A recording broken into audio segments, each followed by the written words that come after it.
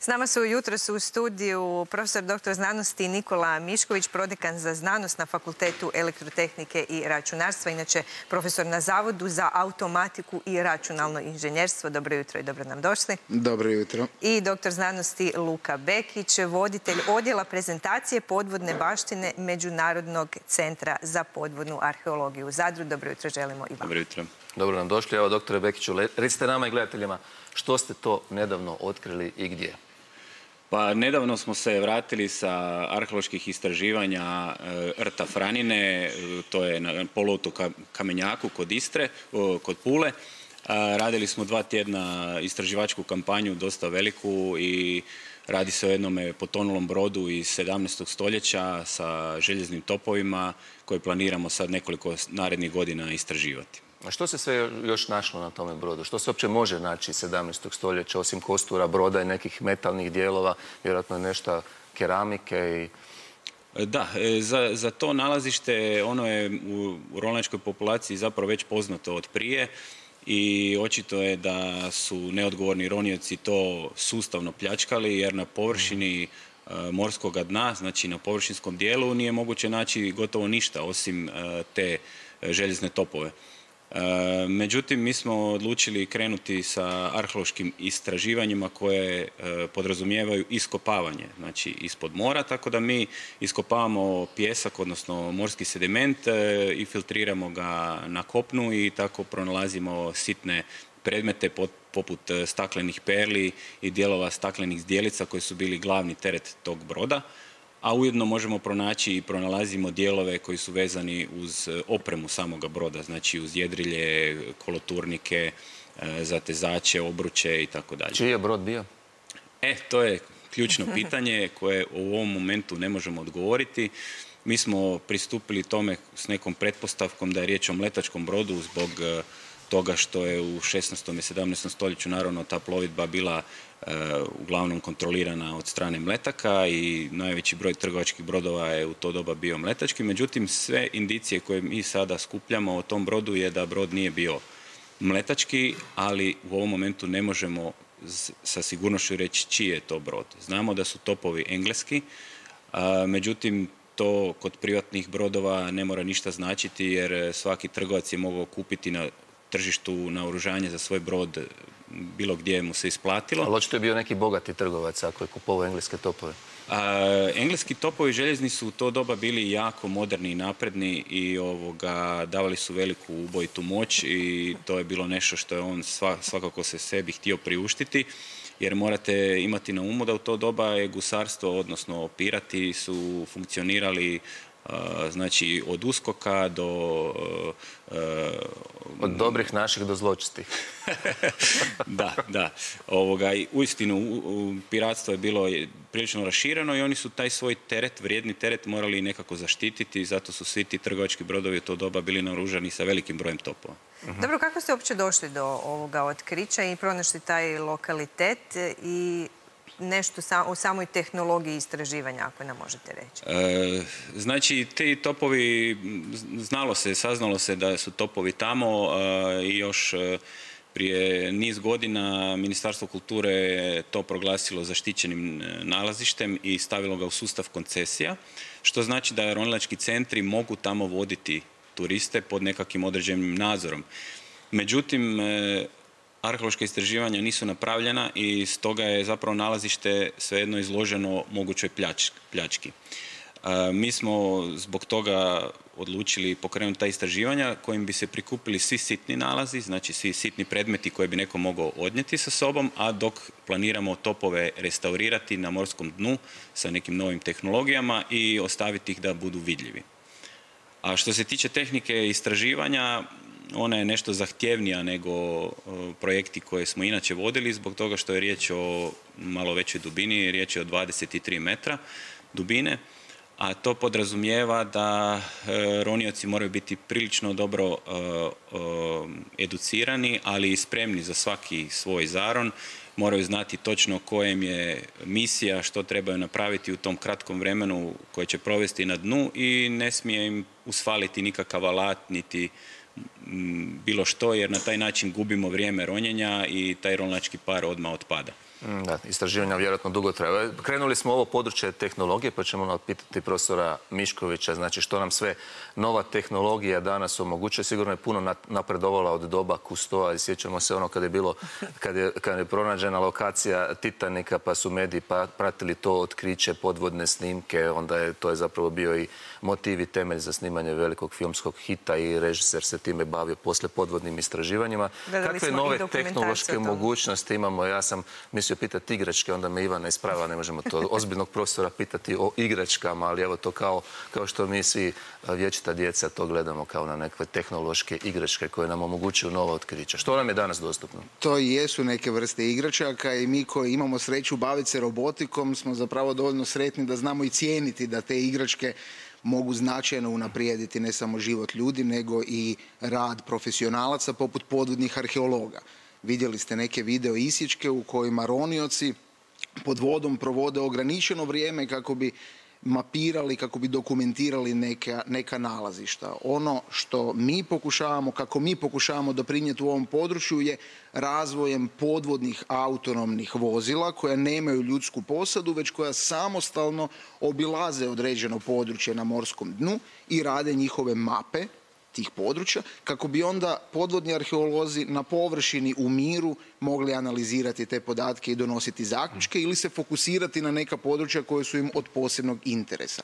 Bi li se ta, takva, tehnologija mogla primjerice proizvoditi u Hrvatskoj? Nekad smo imali Brodarski institut koji je bio vrlo jak, pa smo proizvodili podmornice kao takve, jer jedna od rijetkih zemalja zapravo u svijetu koji smo imali proizvodnju podmornica. Je li sad već prekasno ili postoji neka mogućnost da se ta tehnologija i kod nas počne proizvoditi? Možda je prekasno za tehnologije koje, bi rekao da su sada već možda zastarjele, a to su klasične podmornice. E, ono za što definitivno nije prekasno je razvoj upravo tih bespilotnih vozila koja se temelje na nekakvoj umjetnoj inteligenciji, odnosno na samovozećim e, sustavima koji funkcioniraju pod vodom ili na morskoj vodi. Mi smo tu vodeća u Europi istraživačka sila na feru, naša grupa mhm. koja se bavi tom podvodnom i pomorskom robotikom, tako da sam siguran da će kroz nekoliko godina rezultat biti upravo i kompanije koje će proizvoditi takve sustave i plasirati ih na tržištu. Jeste li sudjelovali u ovim istraživanjima? Konkretno u ovima ne, ali imali smo tu sreću da smo surađivali sa profesoricom Irenom Radić-Rosi sa sveučilišta u Zadru, a i sudjelovali smo u mnogim arheološkim aktivnostima od Estonije preko cijele obale Italije u Hrvatskoj pa čak i u Izraelu. Mm, možda se sad neka nova suradnja, je li tako? To je već dogovoreno. Evo, ako, ako, je već dogovoreno, onda nas to veseli. Kažu da je uh, površina mjeseca čak uh, ovaj, uh, manje, bolje istražena nego dno oceana.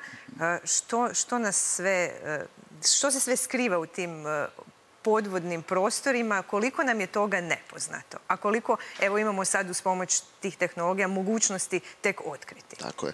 E, više od 70% zemlje je prekriveno vodom. I mi u ovom trenutku definitivno znamo puno više o površini mjeseca, a čak i o površini Marsa, a ne znamo sve o našem vlastitom planetu. Kažu da tisuće vrsta živih bića su još uvijek neotkriveni u morskim dubinama. Tako da čovjek može roniti, tehnički ronioci mogu ići do nekih 70, možda stotinu metara, ali dublje od toga je jako teško ići bez ovakvih tehnologija, visokih tehnologija kakvima se mi bavimo. Znači, tehnologija je tu, tehnologija nam može pomoći da otkrijemo te dubine i siguran sam da ćemo to Da, ako nam je glavni motiv da spasimo planet na kojem živimo, a ne da objesno tražimo novi na kojem ćemo se nastaniti, možda bi trebali u tom smjeru usmjeriti i novac i istraživanja. Ali evo, doktore Bekić, htjeli smo pitati, ovo nije jedini lokalitet u Istri koji se istraživao. Postoji drugi lokalitet o kojem smo nedavno čitali u medijima na Korčuli, je li tako? Da, da, to je isto e, otkriće e, profesora Parice sa sveučilišta u Zadru. E, on je našao tamo neolitičko naselje na nekoj određenoj dubini, a sva ta nalazišta koje spadaju u prapovijestu zapravo dosta rijetka i neistražena. Razlog tome je svakako što ti predmeti zapravo nisu toliko uočljivi na površini morskoj i neko ih ne zapazi Jer su vrlo jednostavni zapravo tako, po Tako, jednostavni su. Riječ je o kamenim alatkama ili dijelićima keramike i tako dalje. Treba imati puno iskustva kao arheolog da bi ih čovjek prepoznao. Točno to, upravo tako, upravo tako. Uglavnom je kod nas podvodna arheologija se asocira sa amforama, brodolomi koji imaju veliki teret po 2000 amfora, normalno uoče se prilično lako na dnu i uvijek privlače pažnju bilo pljačkaša i kolekcionara, bilo arheologa. Međutim, ti neki nalazišta drugog karaktera su zapravo pomalo zapostavljena, ali sad evo moderna arheologija je tome na tragu zahvaljujući primjeni različitih novih tehnologija, pa i ovo što je kolega Dobro, to možda nije bilo vaše istraživanje, ali možda znate na kojoj dubini je bio taj neolitski uh, Ta prapovijesno nalazište se nalazi na 4 do 5 metara. Znači, to je tada bila razina na kojoj se živjelo, mora se... Tu treba isto tako reći da e, ta sama dubina ovisi o tome da li je bila riječ o sajeničkom naselju, znači naselju koje je napravljeno na, na, na drvenim pilonima, na razini mora ili u razini znači e, plime i oseke, to su, to su različite, tako da te, te dubine mogu varirati, dok opet neka nalazišta recimo iz brončanog doba su i sada ispod razine e, mora, međutim one su se u to doba nalazila zapravo na nekakvim poluotocima ili otocima koji su bili na taj način zaštićeni od e, neprijatelja. A koji su još neki najpoznatiji lokaliteti takvi takvog tipa arheološki podvodni u Hrvatskoj. Uglavnom, evo smo sad spominjali ove morske, ali evo prošle godine nakon maratona Lađa e, u Neretvi je također pronađena, pronađeno jedan lokalitet arheološki. E, prema tome ima ih i u rijekama, ima ih i u jezerima. E, koji su to sve lokaliteti u Hrvatskoj?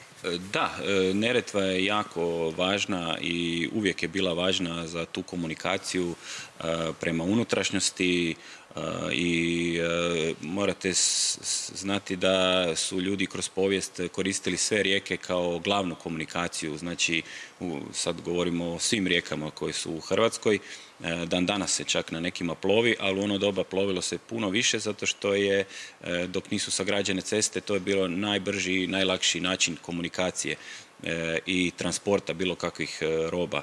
E, stoga su, s druge strane, one su bile nekakva prepreka i na puno mjesta e, ljudi su imali te prijelaze preko rijeke na, na kojima su zapravo bile jedina mogući e, način za prijeći rijeku dok nisu sagrađeni naravno mostovi. Tako da, osim Neretve koja je stvarno arheološki bogata, E, recimo i Cetini, u Cetini ima jako puno nalaza, u Cetini kod Trilja, tamo je bio jedan takav e, prijelaz preko rijeke.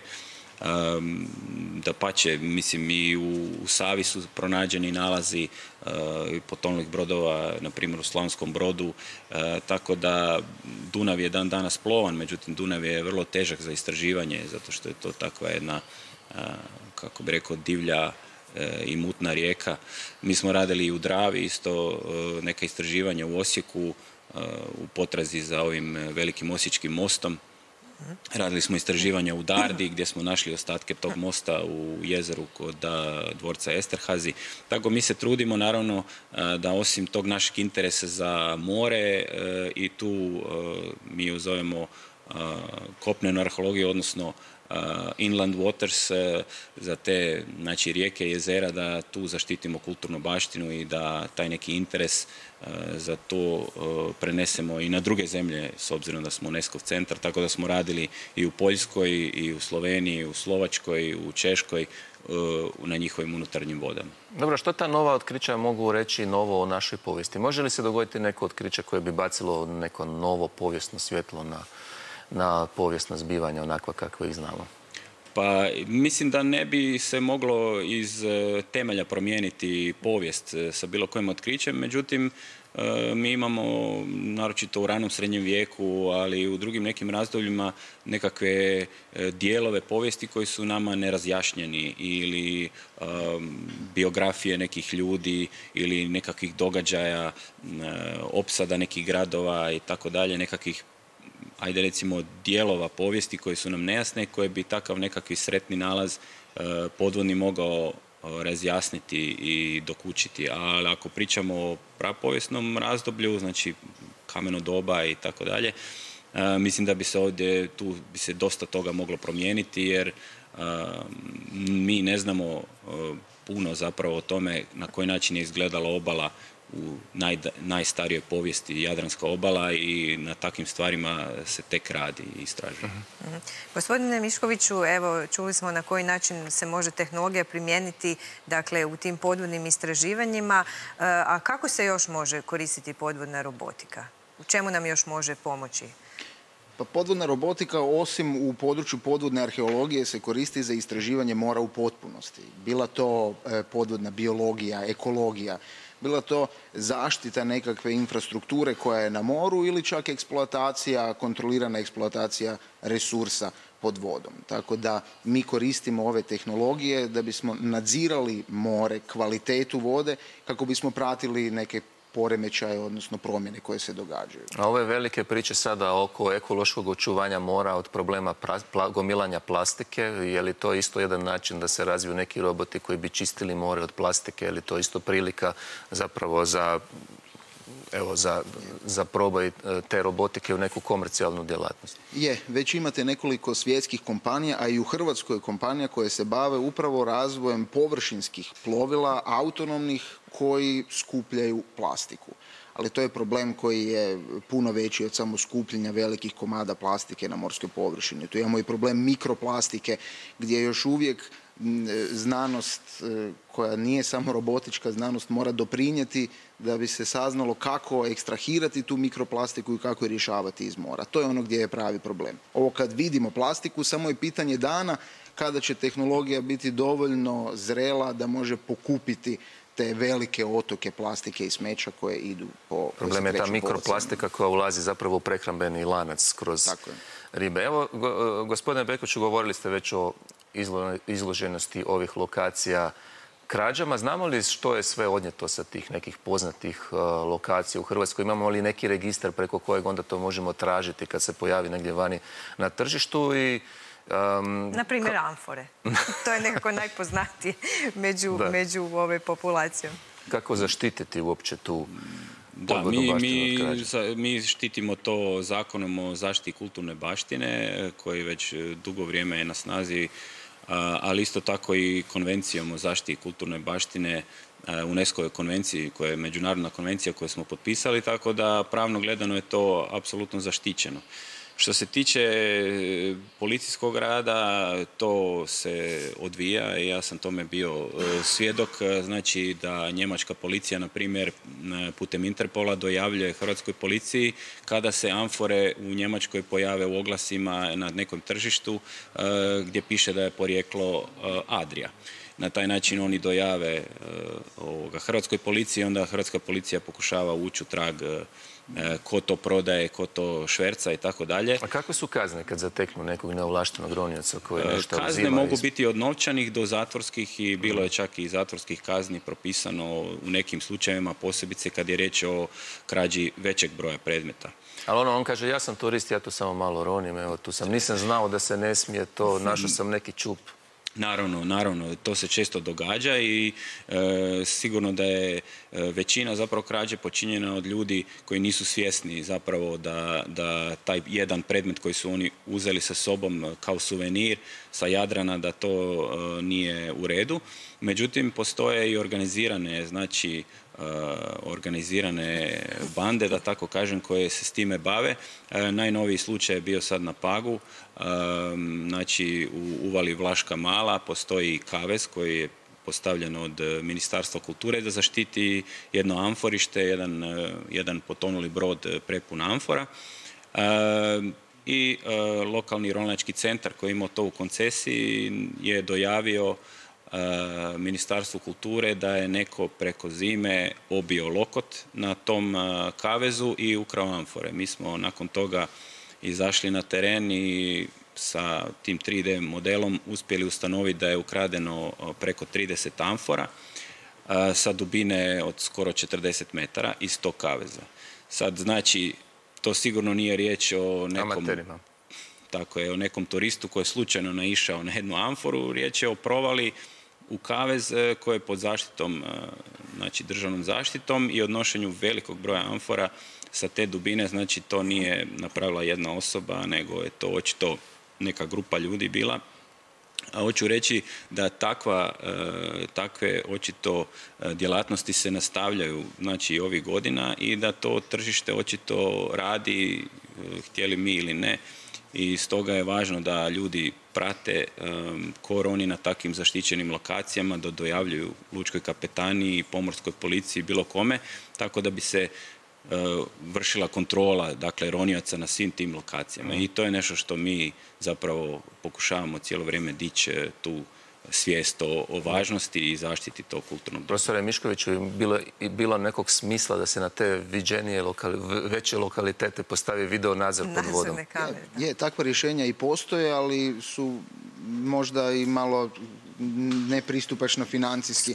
Ali da, možete imati sustave slično kao na kopnu koji detektiraju prisustvo ronioca koji dišu pod vodom i onda ispuštaju mjehuriće koji se lako akustički mogu detektirati i kamere koje možda nisu toliko učinkovite zato jer za prepoznavanje nekog pod maskom vjerojatno ne bi ali, za alarmiranje na vrijeme da neko dođe jer gore mora biti nekakav brod pretpostavljamo tako je, tako veći je problem zamučena voda pa onda kamerom ne vidite nemate uvijek dobru vidljivost ali zato postoje akustičke tehnike kojima se može detektirati e, tako. Znači sustavi postoje sad je samo pitanje koliko možemo uložiti u zaštitu takvih vrijednih nalazišta.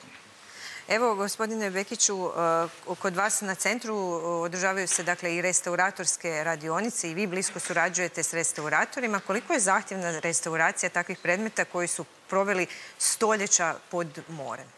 Je li ona nešto zahtjevnija nego kad gledamo ova kopnena arheološka iskapanja ili je to tu negdje slično? Da, da, apsolutno je zahtjevnija. E, mi se možemo pohvaliti da imamo najveću restauratorsku radionicu u Hrvatskoj za podvodne nalaze. Oni su specifični zbog e, sadržaja soli koji ti e, predmeti prime tijekom tih stoljeća.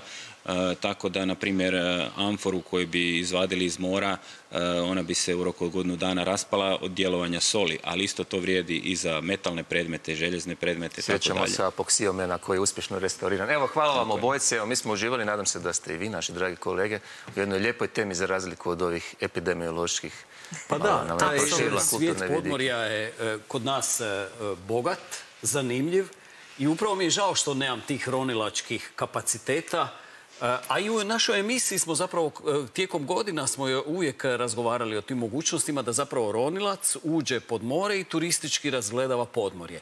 Ali su sve te stvari bile u kaveznima. Neka uvijek pazi što radi. Da ti se ne bi zalijepilo. Da ne nešto što je naše. Koliko se pod more može nešto zalijepiti, ali eto. U svakom slučaju hvala vam na zanimljivoj rubrici.